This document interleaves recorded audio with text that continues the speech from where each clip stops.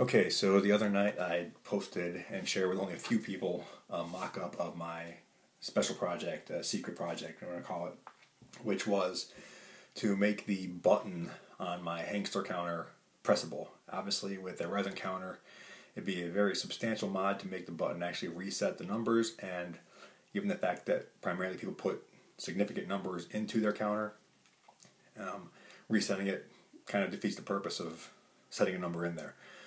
So I said about um, making the button that works. This is the the final set of pieces. It's not glued together or anything. I still need to make my numbers, but uh, here's the button right here, and you can see that presses and returns to its proper location. Um, I've done a lot of modification to the Hengstler counter tonight. Uh, the slots underneath have been cut out right up here. Uh, the space on the bottom where it would have been passed through right right across here and down the two pieces right here have been cut out. Uh, I cut three millimeters or sanded three millimeters off of the top of the Hengstler counter to allow for the three millimeter ABS cover plate that will go on there. And I've just finished being very hard at work learning how to create a counter window, which you can see is in place. It's it is clear plexiglass. It is rounded in shape. Uh, you can see through it. There's, there's no numbers in there right now, but you can see through the window. You can see the reflection a little bit there. Uh, the button is here, and the button is pressable. The mock-up I did the other day, I drilled the hole in the actual counter piece off-center, so I couldn't actually get the couldn't get the uh, button to push. It was lined up wrong. The button was uh, drilled into the Hengstler counter over here instead of offset to towards the in the middle, towards the inside. So I had to take it all apart and put some Bondo in there and redo it.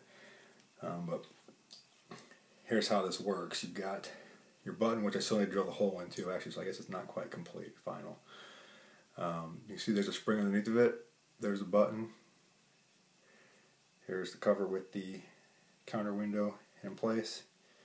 Uh, you can see through it fairly well. It's not perfect, I guess, but here's the button. Now you can see that it's standard size, 3 millimeters by 10 millimeters wide, but underneath of the actual counter plate, it has little feet that stick out. Those feet are straddle the spring, which is cut into the actual counter itself. As you can see right there, there is a hole uh, way down, kind of recessed in the center there, you can see a little bit uh, where the spring sits, and then everything else goes in there. Uh, much like Steve had his issue today about nearly drilling through his magazine, you can see right there that I came very, very close to drilling right through the side of my Hengstler counter while cutting out the slot for the for the, the button. So, uh, so that's it. It's I'm excited about it. Here's the actual. Let's see the counter window. Yeah, you can see right through there. It's very clearly that says Dremel. You can see, you know, whatever else is under here. That's a little bit difficult. I don't know what it actually says, but you can see all the numbers and everything in there. I still got to make my counter numbers, uh, but to assemble this, what I'll be doing, you can see I've got the spot outline for the numbers there. I'll be securing the numbers. I'll be putting, you put the screw into that recessed hole at the bottom. Um, put your button into your cover plate. Then you just line up the screw the screw, the spring, with that slot and your and your button, and uh, there you got it, pressable button on a doopy doo resin Hengstler counter. Um, like I said, I still got to uh, cut the hole in the switch in the button. That's piece that's missing still. So I'll take care of that before I do my final assembly. Once I assemble it, um, I'm not sure if I'm going to try to use E6000 for this yet. The spring tension, I don't know if that'll work as well. I keep the clamp on it, obviously, for plenty of time. I'll have my numbers set into there eventually once I figure out what they're going to be. Uh, but E6000 on this faceplate will allow me to change the numbers later if I want to.